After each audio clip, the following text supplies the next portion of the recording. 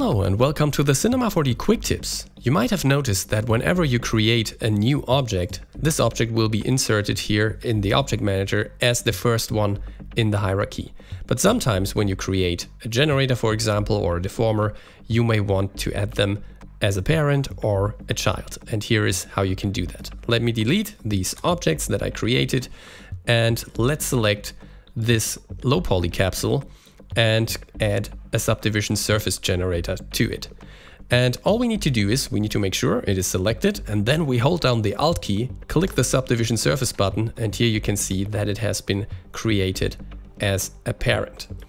Now we can also add new objects as a child of an object. So let's say we want to add a bulge deformer to this capsule here. We can navigate to the bulge deformer, then hold down the shift key and as soon as we release the mouse here, the bulge deformer will be added to the capsule as a child. The object properties will be set to the right values and we can start deforming this object. Now there's one more modifier key that you can use here and let me select the subdivision surface object for this again. And let's say we want to create an instance of this one on the same hierarchical level and we can use the control modifier key to do that. So I hold down control, release the mouse and you can see instead of creating this object as the very first, it's now on the same hierarchical level as the object we had selected before. Alright, now let me show you another scene where I have three rectangle splines with round corners and I want to sweep all of them in one go.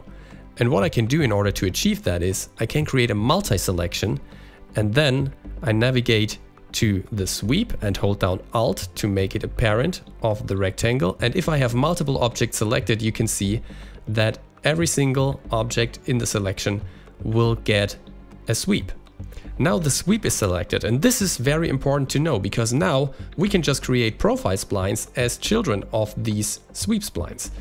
So let me go to the flower spline, hold down shift and release the mouse and you can see that now a flower spline has been created as a child of each sweep. And now it's just a matter of setting up the right parameters.